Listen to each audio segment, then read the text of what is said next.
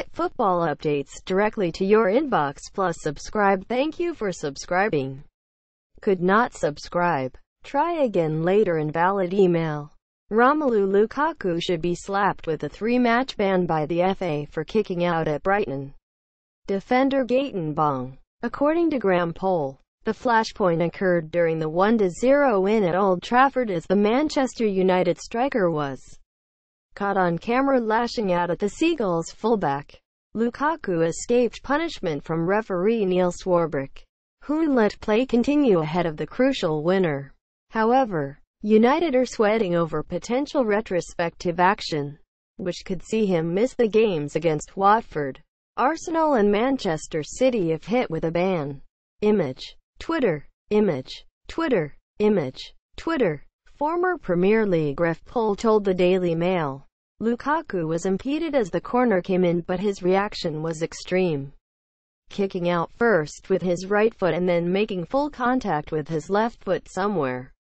Quite painful. It was a violent act which would have resulted in a red card had referee Neil Swarbrick seen it. The Brighton fullback did remarkably well to not react, nor complain to the officials.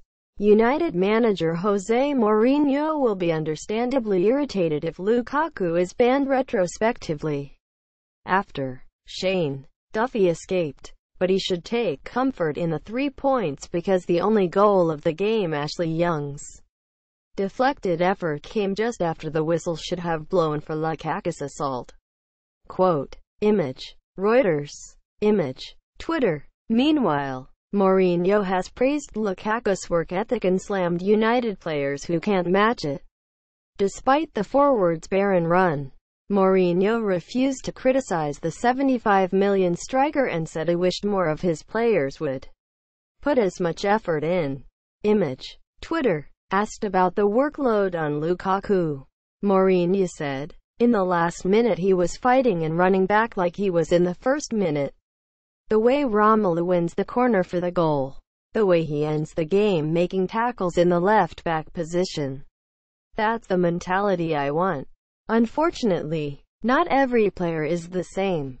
Some are capable of going to the limit of their efforts but others, even with a lot of talent, are not able to.